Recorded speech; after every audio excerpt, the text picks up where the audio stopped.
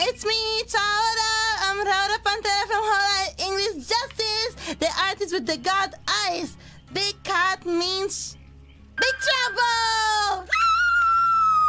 Yeah, I love trouble. What name was All that? right, Biboo, say Raora's name. Laura. She's Say it improving. again. She's Laura. improving. Laura. All right. Uh, not Raora? I It's believe. Laura. Oh.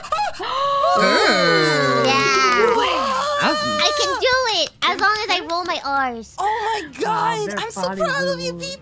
Oh, oh thank you, you. senpai. Wait, wait, I'm senpai. You yes. wait, uh, I'm your kohai.